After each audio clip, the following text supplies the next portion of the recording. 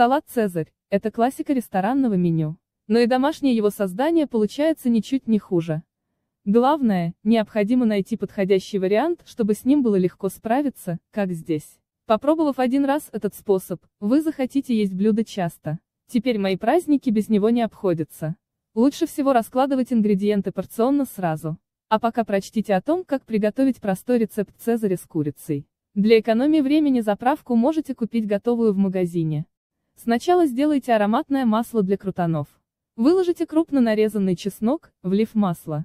Поставьте разогреваться масло на 30 секунд в микроволновку. Батон нарежьте кубиками, удалив корки. Выложите их на противень. Сбрызните батон маслом, убрав чеснок. Подсушите крутоны 25 минут в духовке при 150 градусах. Готовые изделия остудите. А пока займитесь сборкой салата. На тарелку выложите промытые листья салата. Курицу разделите на второго части. Посолите и поперчите. Обжарьте филе в масле с обеих сторон по 5 минут. Затем на салат выложите курицу крупными кусочками. Разложите крутоны. Сверху полейте цезарь заправкой и натрите тонко пармезан. Приятного аппетита!